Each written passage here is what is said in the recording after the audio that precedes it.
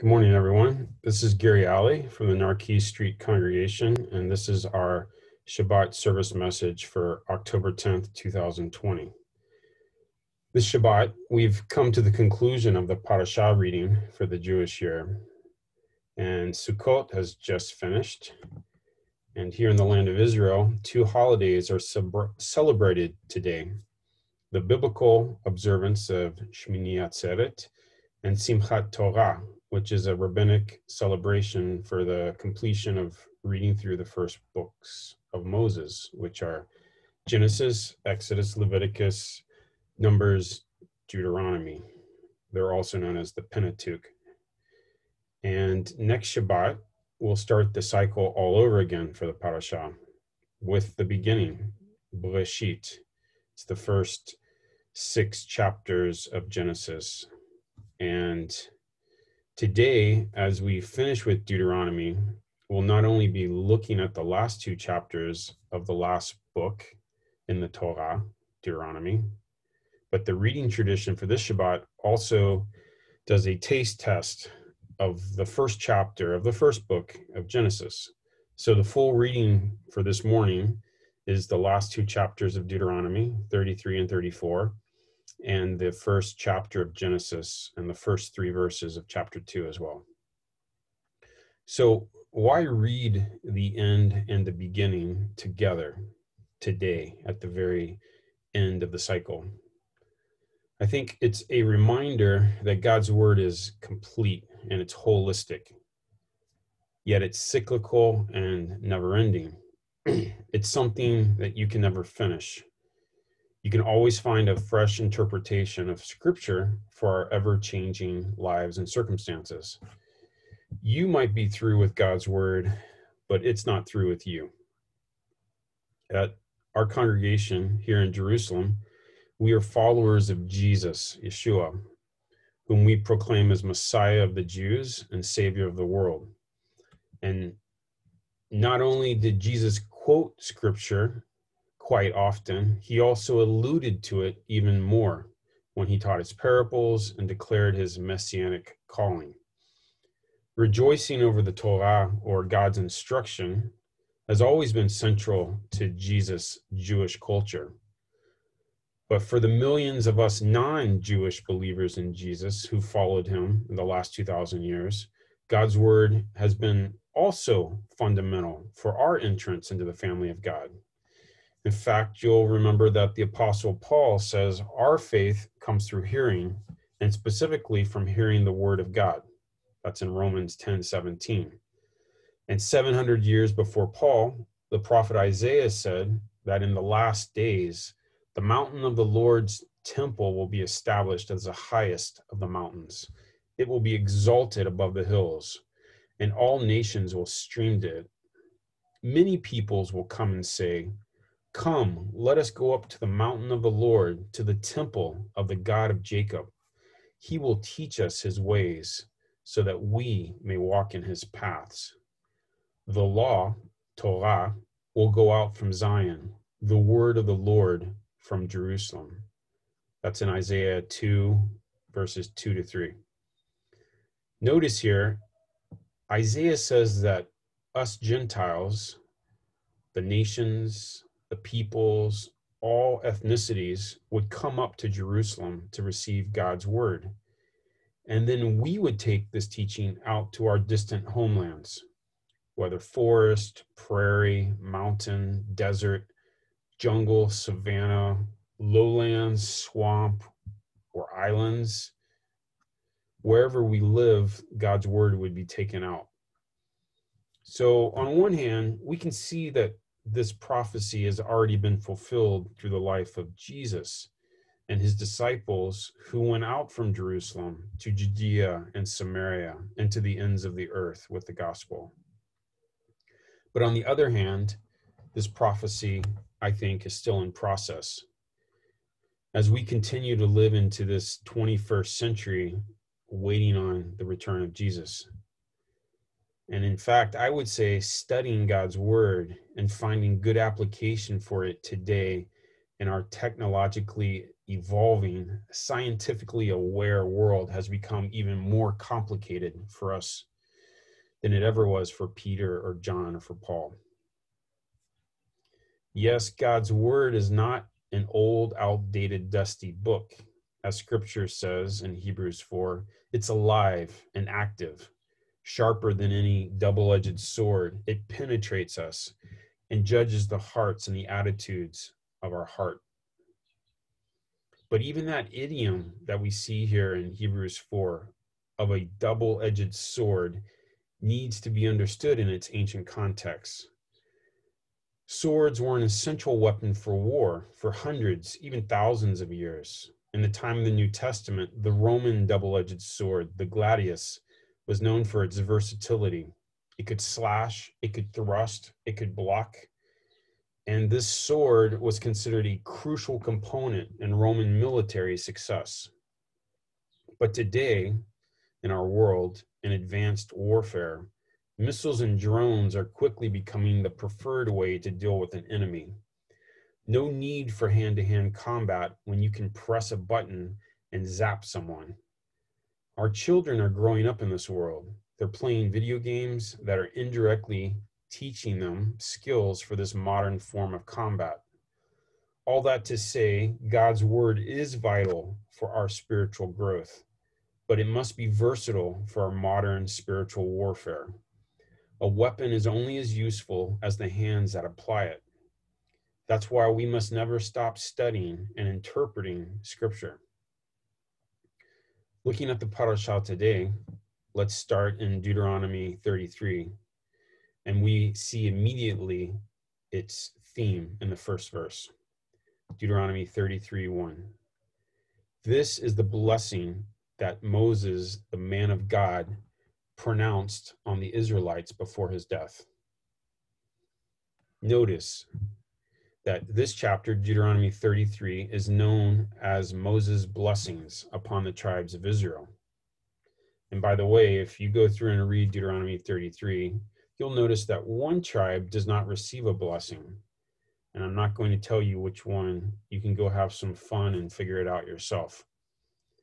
But this chapter on blessings of a patriarch near his death reminds us of Isaac blessing Esau or trying to bless Esau, and Jacob sneaks in.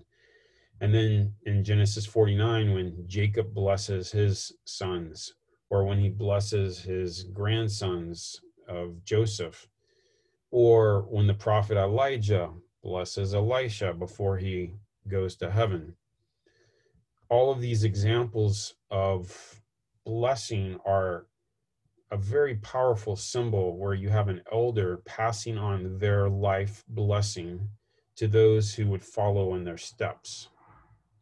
Notice a blessing is made up of words, spoken words, words that bring life, while a curse are words that ultimately wish death. Moses' blessings are words that reflect God's heart toward Israel. And Israel's blessing is because of their relationship with the Lord. The relationship is always central to any blessing. As we read here in the last verse of Deuteronomy 33 Happy are you, Israel. Who is like you, a people saved by the Lord? He is your shield and helper, and your glorious sword. Your enemies will cower before you, and you will tread on their heights. And so now we come to Deuteronomy 34, the last chapter of Deuteronomy. And here we have the death of Moses. In Numbers 20, you'll recall how Moses was in the wilderness with the people and he became frustrated with the people. And he disobeyed God's word when he struck the rock for water when the people were thirsty. God had told him to speak to the rock that time. And so in Numbers 20, God punishes Moses by saying he would not be allowed to enter Canaan. So now, here in Deuteronomy 34 is the culmination of that. Moses is going to die outside of the promised land. But God allowed one final mercy to Moses when he let him climb up to the top of Mount Nebo and to look over the entire land. Moses could see the land, but he could not touch it. His life work had been bringing his people to this point in history, but he would not get to experience their joy of entering the land. It reminds me from the Mishnah in Pirkei Avot 2.16, where it says that Rabbi Tarfon used to say, It is not your duty to finish the work, but neither are you at liberty to neglect it. So too, Moses had been a faithful servant. He had done his part in God's great plan for Israel. Moses was a great leader, and to, even today, he's remembered as maybe the greatest leader of Israel. But he was only one small part in God's plan. But Moses didn't sulk or quit doing his job, even though he would not reap some great reward like entering the promised land. Joshua would take Moses' place and he would lead the people into the land. And then after Joshua, the judges would lead. And after the judges, the kings would lead, and so on. Every generation was required to be faithful to God, to obey his word, and then to pass his word on to the next generation. Even then, God's word was a cycle it was a flame being passed on to illuminate the future generations. It was a lamp unto their feet. And now we come to Deuteronomy 34, verse 5, where it says, Moses, the servant of the Lord, died there in Moab, as the Lord had said. This translation is from the NIV. Yes, Moses dies and we know later in the next verse that God buries him. But in the Hebrew of verse 5, it says, Vayamot Sham Moshe Eved Adonai Be'eretz Moav Al Pi Adonai. What's interesting here is the Hebrew says that Moses died according to the mouth of the Lord, literally. While we know, like all Bible translators do, Al Pi Adonai is an idiom for the word of the Lord or the command of the Lord, and we know that this is referring back to Numbers 20, when God had commanded or said that Moses would not enter the land, and therefore he died outside of the land. But the interesting part here with Al Pi Adonai, with or through the word of the Lord, is that some later Jewish interpreters suggested that Moses literally died through the mouth of the Lord. In other words, the Lord kissed Moses, and in so doing, took his final breath away. Moses died by the mouth of the Lord. This is, you know, a very interesting uh, midrash. And so, keeping that in mind, we now come to Genesis 1 in our parasha, chapter 1 of Genesis, which we all know as the creation story. And in this first creation story here in Genesis 1, God creates the world by using his mouth. He speaks words and they create life. He says, Let there be light, and there is light. He says, Let the water gather to one place and form the seas, and it does. He says, Let the land produce vegetation, and it does. He says, Let there be stars in the sky, and they are. He says, Let there be creatures, and they appear in the sky, in the water, on the land. And so too, God creates us, humanity, in Genesis chapter 1 through his words. He creates in us, or he creates us in his image. And most importantly, as God is creating the world, he's also blessing the world. You'll notice in Genesis 1:22, after he's made the great creatures of the sea and all of the things that are living inside the water and every winged bird, he says God blessed them and he said, Be fruitful and multiply. And then in Genesis 1:28, after he creates man and woman, male and female, he blesses them and he also says, Be fruitful and multiply. Notice this full circle of life we are now witnessing here in this final parashah reading as Moses concludes the Torah, the end of Deuteronomy, and his life is passing away, he blesses the next generation to follow him. He blesses through words of life. And then in Genesis 1, it begins again, recycling this idea of blessing that's inherent in God's creation, that our world's a gift, that God calls his creation good seven times here in Genesis 1. God's creation is a blessing, and this blessing comes through his mouth, through his words. Just as we have been created in God's image as his children, so too we are to bless and not curse. God's final blessing in the creation is found in Genesis 2, verse 3 where it says, Then God blessed the seventh day, the Shabbat, and he made it holy, because on that day he rested from all the work of creating that he had done. The seventh day, today, the Shabbat, is blessed because God rested from his work, which he did with his words. Likewise, death is like a Shabbat, it's a final rest. Death can be a blessing if we approach it like Moses did, with contentment and peace in our relationship with God, and not in our pride of accomplishment found in our work. Moses could have been bitter that he didn't enter the promised land.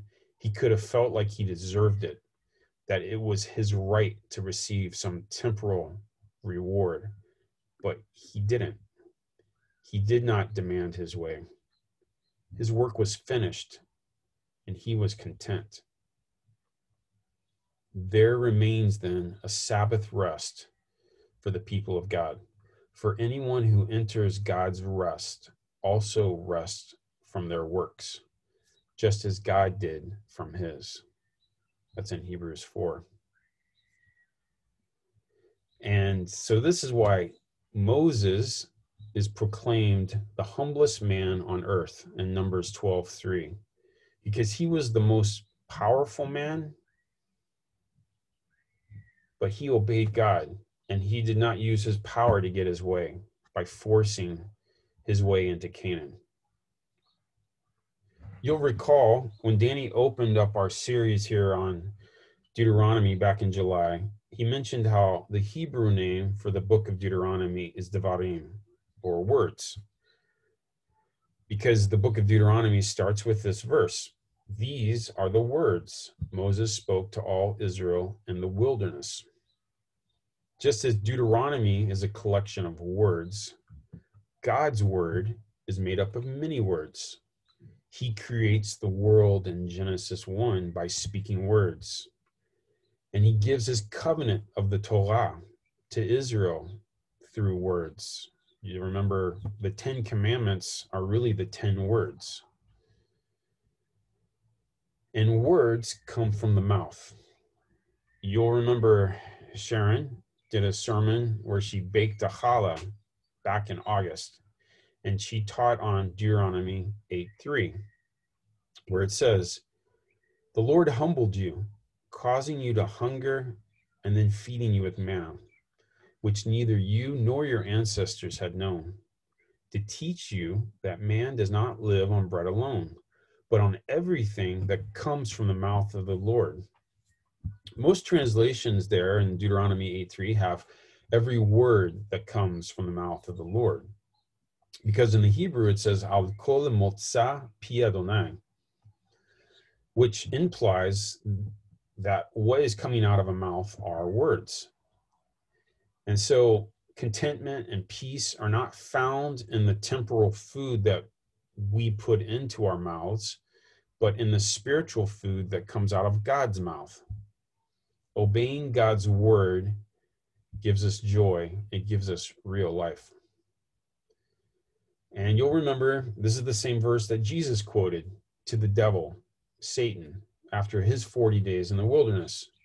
Jesus did not find ultimate life flowing from the things of this world, but in obeying the things that come out of the mouth of the Lord, his words. So, too, Moses, after 40 years in the wilderness, found his fulfillment in obedience. And he died through God's mouth, al pi Adonai, according to his words. Just as God breathed life into Adam at his birth, back in Genesis 2 7. Likewise, God takes the life breath away from Moses at his death. The bottom line is whether birth or death, God is in control, and his mouth, his words, can bring blessing in both moments. God's words are more than communication, whether they're spoken or they're written, they are symbols of his presence among us. His word dwells with us. Studying it, obeying it, practicing it, trying to understand how we are to interpret it today in the 21st century, these are all signs of fearing God, of revering Him, of respecting him, and ultimately of worshiping him. No wonder John called Jesus the Word. There is no greater description of divine presence. To conclude this parasha cycle this morning would be a paradox. You can only begin again, start all over. You can never finish knowing the majesty of God and the timelessness of His Word. You can never know everything about the Lord and what He wants to do in our lives. He's daily looking for a new creation in me, in you, in the darkness over the surface of the deep. And today, He's calling us to dive back into His Word and learn the heart of obedience all over again. In a sense, we are just starting. As his children, we are called to be co creators with him in this world, powerful in his spirit, but humble in our actions. Like him, we are to bless those we serve and not curse. And when our time of death draws near, or suddenly takes us without warning, may his word of blessing be in our mouth and in the many of those that we have passed it on to. There is a time for everything and a season for every activity under the heavens, a time to be born and a time to die. This is the word of the Lord.